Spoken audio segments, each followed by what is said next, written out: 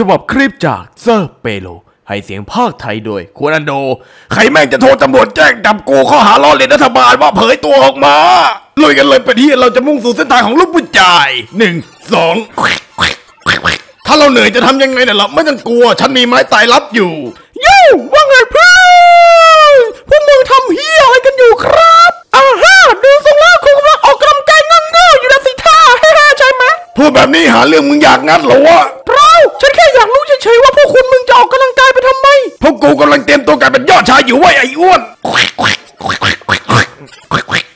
เฮ้ยด่ากันแรงไปเปล่าไอ้เป็ดเฮียฉันไม่ได้ออกกำลังกายหรอกเพราะฉันแข็งแรงอยู่แล้วไอ้ดู มีแต่พุงนะสิไอ้ว้าวแม่งตบสกูหน้าเด็กเลย โอเคงั้นฉันเอาด้วย ฉันต้องทำยังไงวะถึงจะมีกล้ามแบบพวกนายนะเฮ้ได้สิว่าเพื่อนรักนี่เอาไปมาม้า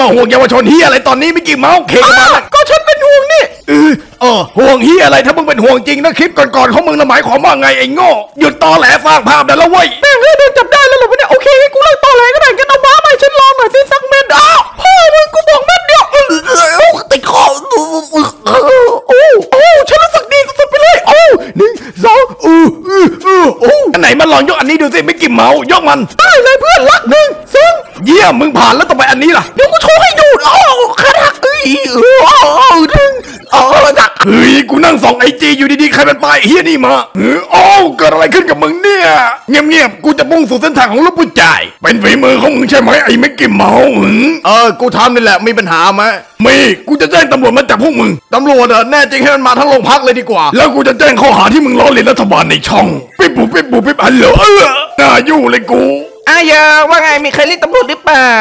พวกมันดูดมาแล้วออกกำลังกายกับคุณตำรวจ เฮ้ยมาเหรอแย่แล้วพี่ พี่มีมาเหรอผมขอเม็ดหนึงดิพี่ผมขาดมานานแล้วขอลองไม่ให้เว้ยนี่ เอ้ยพูดกันดีๆก็ได้ โอ้โหตำรวจแม่งก็เป็นไปกับเขาด้วยแม่งตีแม่งนี่ โอ้อะไรใครสะกิดเฮ้ยมึงกล้าตีโตดกูเหรออีหลำหยองโอ้โหแม่งต่อยหน้ากูนะอยู่เลยโอ้โหเจ็บ